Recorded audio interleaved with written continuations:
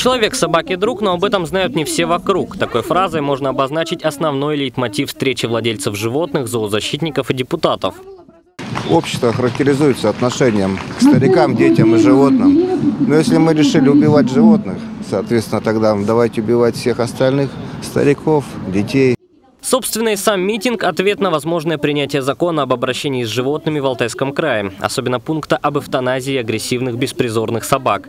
Подобные меры уже были приняты в нескольких регионах страны, к примеру, у наших соседей – в Горном Алтае и Республика Бурятия. Там умершвленные хвостатые исчисляются десятками.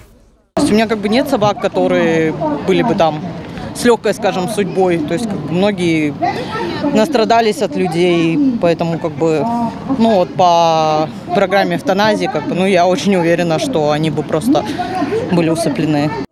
Зоозащитники уверены, бороться надо не с последствиями, а с причинами. К примеру, в Бурятии эвтаназия ни к чему не привела. Спустя пару месяцев ее отменили. На другой чаше весов Нижний Новгород, который сейчас считается одним из самых дружелюбных городов России в отношении собак. Там пропагандируют бережное отношение к животным не только на словах, но и действиями.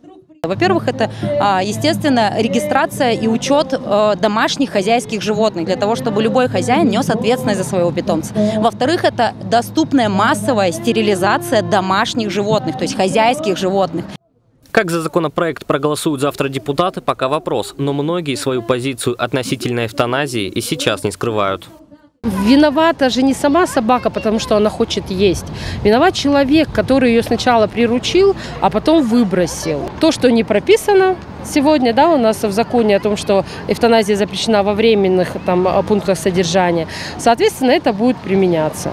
Если у нас э, хозяин в течение 12 дней а, не нашелся, а, соответственно, будет э, применена там вот эта процедура.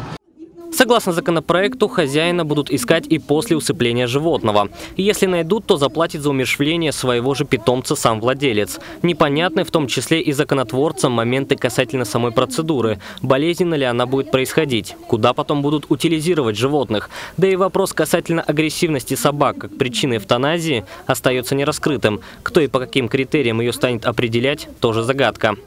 Есть такое понятие ненормативная агрессивность животного. В федеральном законе такого нет. То есть что это за понятие? Людям это непонятно. Самое главное, что у нас региональные законы не должны отличаться от федеральных законов.